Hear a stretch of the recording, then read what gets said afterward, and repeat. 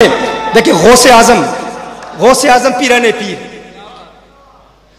हज़रत निज़ामुद्दीन उलिया रहमतुल्लाह ताला इरशाद फरमाते हैं।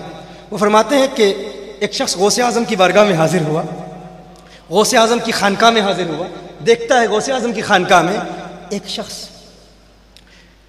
उसकी हड्डियाँ टूटी हुई, हाथ पाँव टूटे हुए, तड़प रहा है गौसे आज़म की बारगाह में खानका में।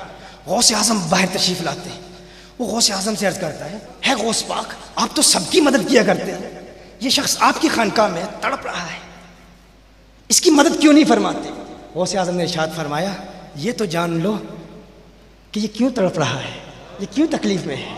गौस आज़म ने फरमाया, तीन अबदाल तीन अबदाल मेरी खानका के ऊपर से परवाज कर रहे थे, उड़ रहे थे। अबदाल मेरी खानका के ऊपर परवाज कर रहे थे।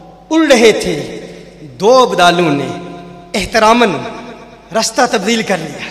एक दाई जानब चला गया, एक बाई जानब चला गया। गौस की खानका है, इसका एहतराम ज़रूरी है। कहा, एक दाई जानब चला गया, एक बाई जानब चला गया। इसे नाज था अपने तसव्वुफ पर, अपनी रूहानियत पर। इसने कहा, मैं क्यों एहतराम करूँ? मैं खुद अबदाल हूँ। मेरी खानका के ऊपर परवाज करने की कोशिश की। उड़ रहा था, गिरा, और ये इसकी हालत है।